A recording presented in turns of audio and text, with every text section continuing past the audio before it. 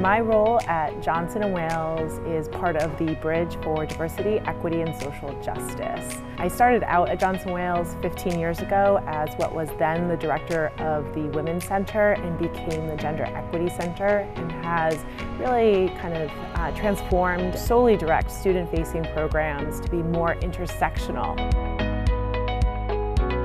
My previous life, I worked in victim advocacy specific to sexual and relationship violence. When I came to Johnson & Wales, it was more of an emerging issue and now it is something that we consistently see paid attention to. It is a huge issue on college campuses. However, when I say that, it's a big issue for folks across the lifespan. But because we have such a microcosm here, we have a great opportunity to mitigate harm that's already happened to folks when they join our community prevent it from happening while they are at our community.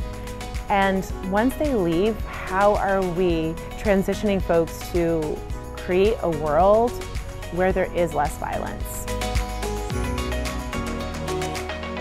Before I came to Johnson & Wales, I was a trainer in the Rhode Island Municipal Police Academy in sexual violence and relationship violence.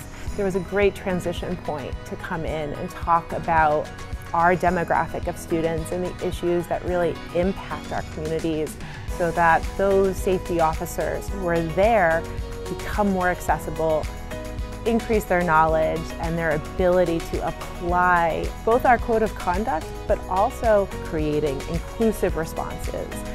Being on the podcast with Dr. Chan was one of the most amazing things in that we have community resources who are that accessible and that upfront with doing what's right versus what sounds good. If we don't talk about it, how do we change it?